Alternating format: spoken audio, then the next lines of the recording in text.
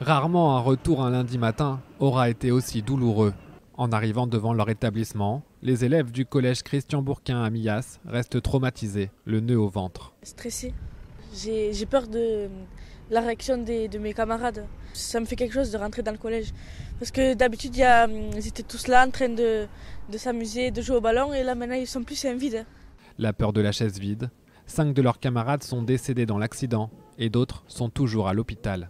Je dors pas, je dors plus, je pleure tous les jours euh, parce que j'ai perdu comme mes petits frères, parce que je les considérais comme mes petits frères. J'aurais pu être dans l'autocar pour aller manger chez ma copine et puis y passer aussi.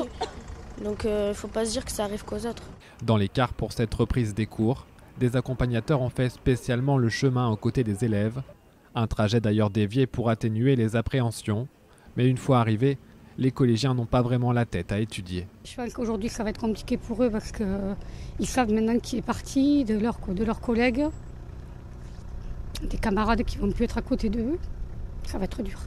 Il a quand même trois camarades de sa classe qui, sont partis. Donc euh, c'est plus dur pour lui parce qu'il a du mal à s'exprimer. Dans l'établissement, une cellule psychologique a été mise en place pour écouter les élèves et leurs parents souvent sous le choc les collégiens qui expriment aussi leur peine, en grande partie sur les réseaux sociaux.